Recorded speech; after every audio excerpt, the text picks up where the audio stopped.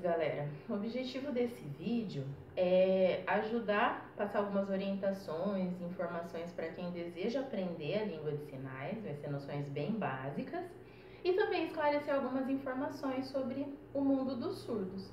Primeira coisa que eu gostaria de esclarecer, que assim, você viu ali na minha apresentação que apareceu escrito na legenda que eu sou intérprete de língua de sinais em uma escola regular. Tem pessoas que me perguntam: ah, a escola que você trabalha é normal? É, é uma escola normal. Lá tem alunos surdos e ouvintes e acessibilidade para os surdos por meio dos intérpretes de língua de sinais. Então, esse termo normal não pega muito bem. A escola é regular, com acessibilidade, tá bom? Outra dúvida que as pessoas têm é linguagem de sinais ou língua de sinais? É língua de sinais. Teve até uma lei aqui no Brasil, em 2002 ela foi assinada, a Lei 10.436, é, estabelecendo, reconhecendo a Libras, que é a sigla de Língua Brasileira de Sinais, é, reconhecendo como idioma aqui no país, então é uma língua.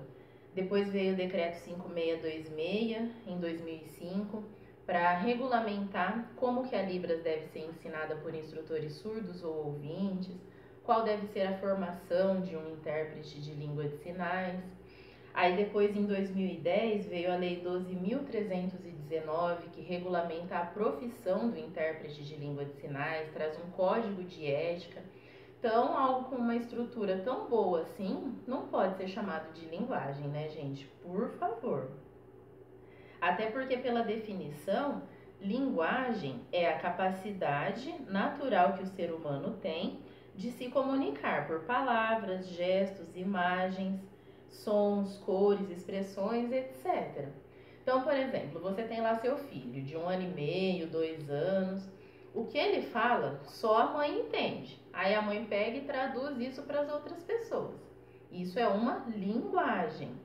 É um meio de se comunicar? É. Mas é oficial? Todo mundo fala desse jeito? Não. Então isso é linguagem. Agora, a língua é um conjunto organizado de elementos, seja sons ou gestos, que possibilitam a comunicação e tem regras gramaticais. E isso é uma língua. Como o português, a gente não fala linguagem portuguesa, a gente fala língua portuguesa, tá certo?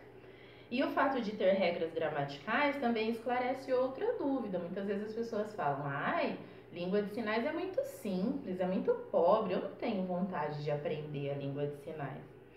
Não é bem assim, não, gente. Como é uma língua, ela tem parâmetros linguísticos.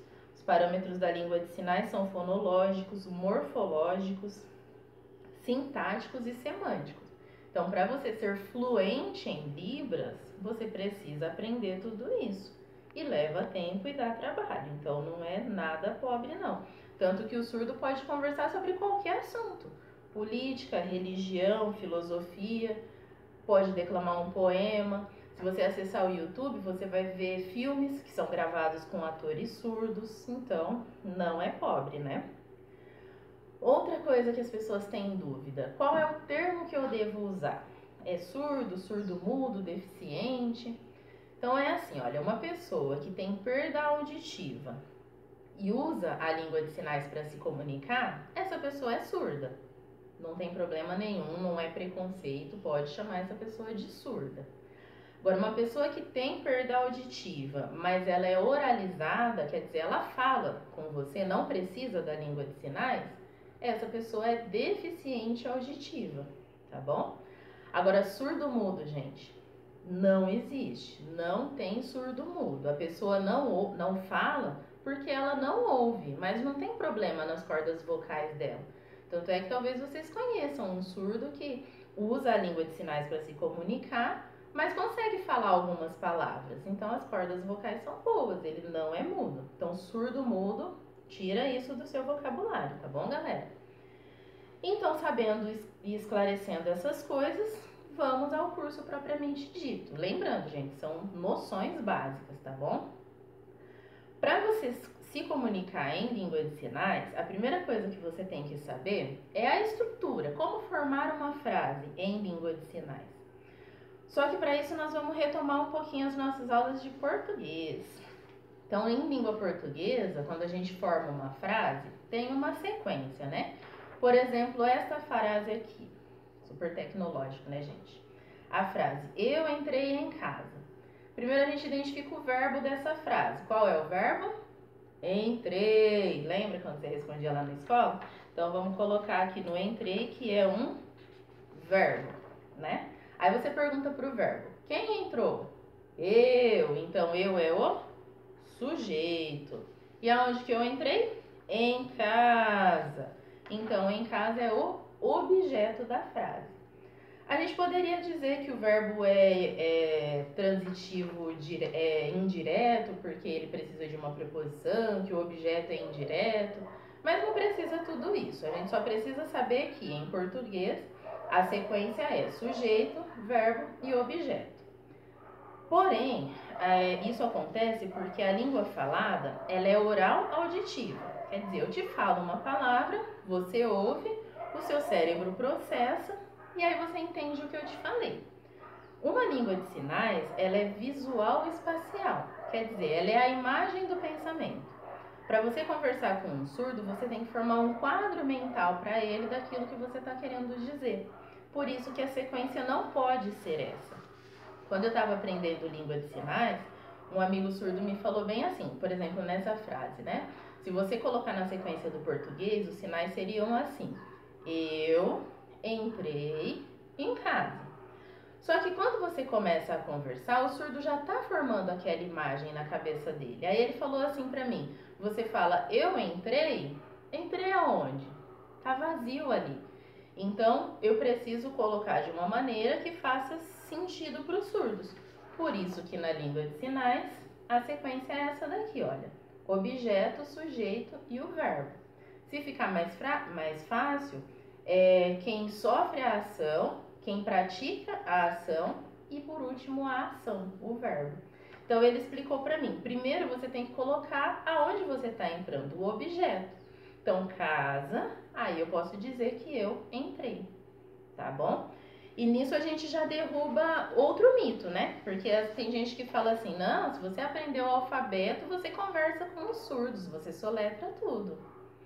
Nada disso, gente. Porque se eu soletrar, eu entrei em casa, não tá na estrutura da Libras, não tá fazendo sentido para o surdo.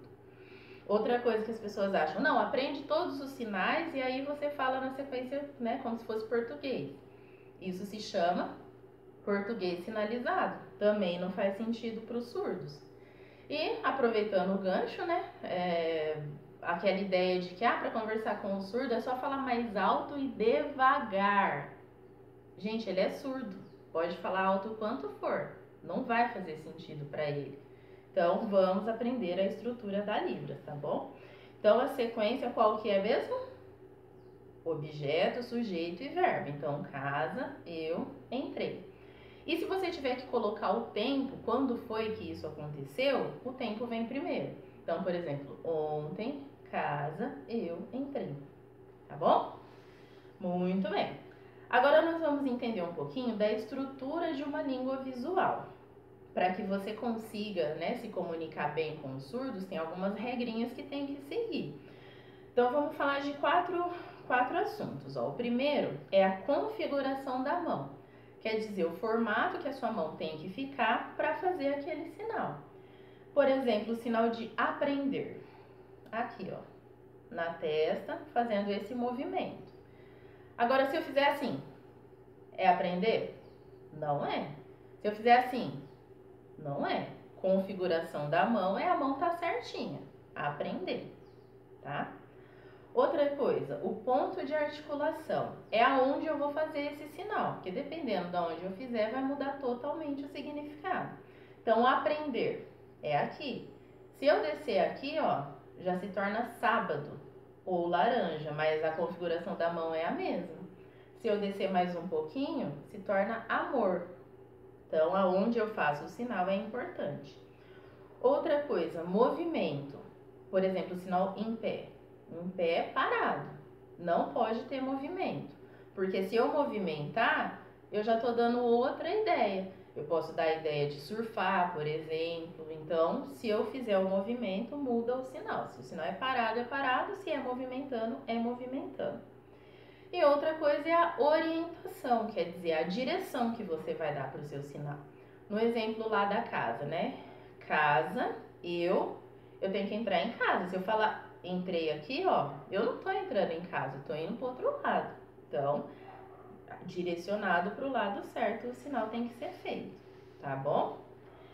Tendo entendido isso, nós vamos entender alguns aspectos também que ajudam na compreensão da língua de sinais. Um deles chama-se datilologia. O que, que é isso? É a soletração. Ah, mas você não falou que não adianta ficar soletrando? Sim, você não vai ficar soletrando tudo. Mas na minha apresentação, por exemplo, eu falei que o meu nome, e aí eu tenho que soletrar. Só que eu tenho um sinal também, que é esse aqui. Então, quando for se referir a mim, só fazer esse sinal já tá bom, não precisa ficar soletrando. Então, nome próprio, né? Tem algumas, algumas palavras que não tem sinal, eu vou soletrar. Mas não é tudo, são bem poucas as palavras que não tem sinal, tá bom? Outro aspecto que a gente tem que também tentar dominar é a expressão facial, porque a expressão facial é o que dá a entonação do que eu estou falando. Assim como quando a gente está falando, né, se a gente muda a entonação da voz, a gente faz uma pergunta, né, por exemplo, a gente fala, você lavou a louça? É uma pergunta. Então, a expressão facial também dá essa entonação. Por exemplo, numa frase, né? Eu posso dizer que o meu pai comprou o carro, comprou um carro. Se eu estiver afirmando, eu vou falar carro, meu pai comprou. Estou afirmando, carro, meu pai comprou. Agora eu posso perguntar, carro, meu pai comprou?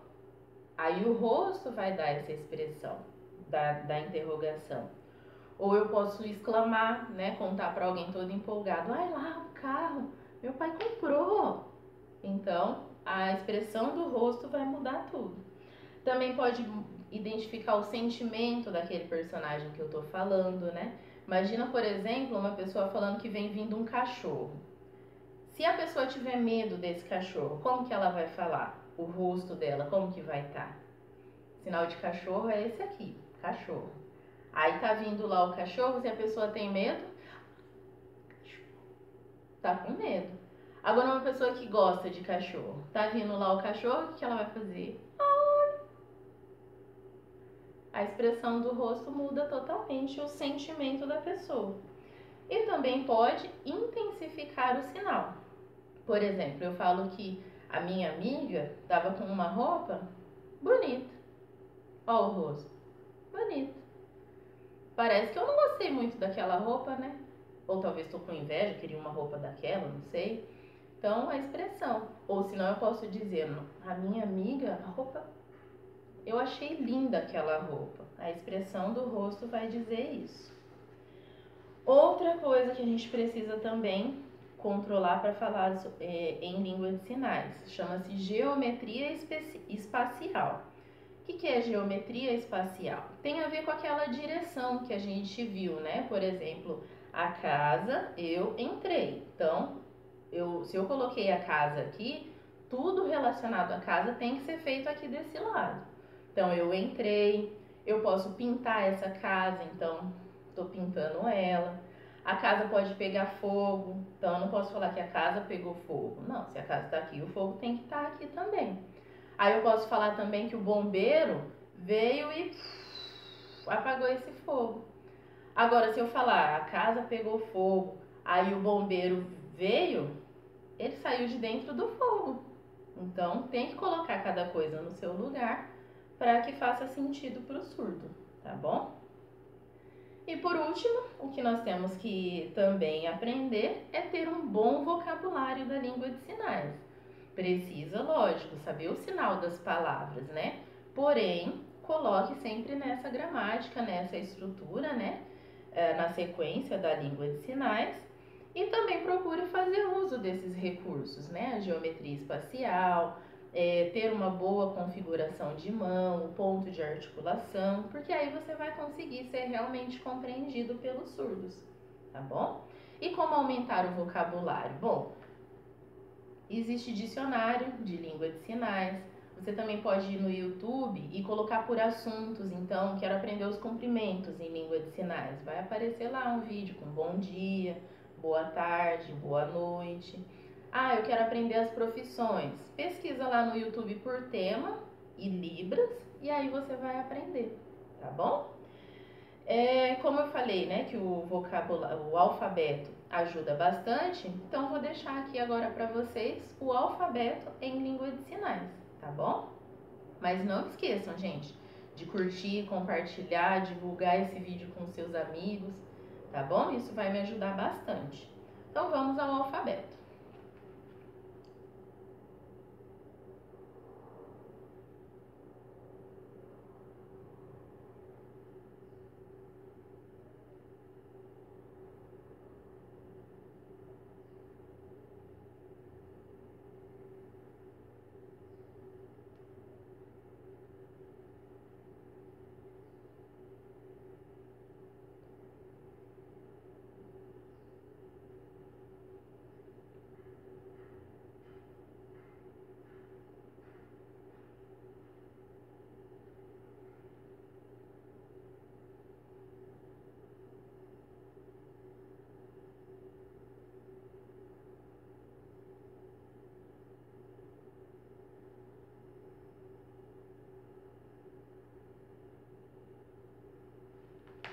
Valeu, galerinha!